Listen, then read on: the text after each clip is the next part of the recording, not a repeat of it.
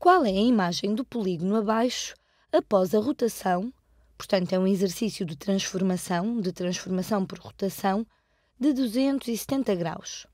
Quando se fala em transformação por rotação, pelo menos no contexto deste exercício, estamos a falar de uma rotação em torno da origem, em torno deste ponto.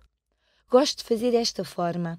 Pego num destes pontos, num destes pontos cor de laranja, e faço-o rodar 270 graus em torno da origem.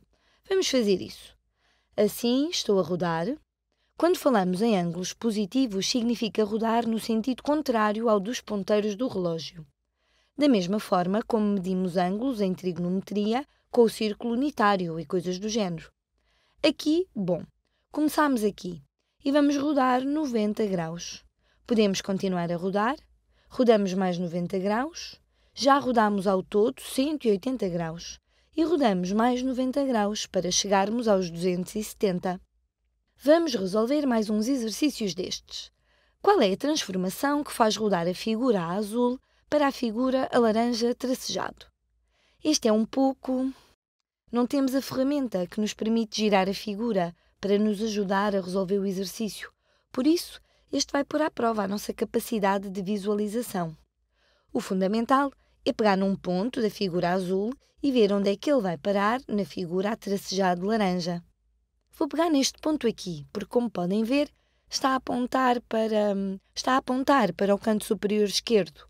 Ao rodá-lo para a figura tracejada laranja, fica a apontar para o canto inferior direito. Então este deu a volta. Podemos dizer que estava a apontar neste sentido e virou tudo para ficar a apontar para o sentido oposto.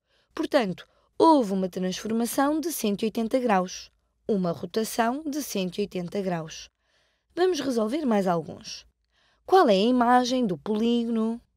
Querem que façamos mais uma rotação de 270 graus. Então, tal como fizemos antes, vamos rodar este ponto. Vamos rodar este ponto 3 quartos do círculo. Vamos lá ver como podemos fazer isso. Neste momento, este vai ser um pouco mais difícil, Vou pegar neste ponto porque é mais fácil visualizar os 270 graus.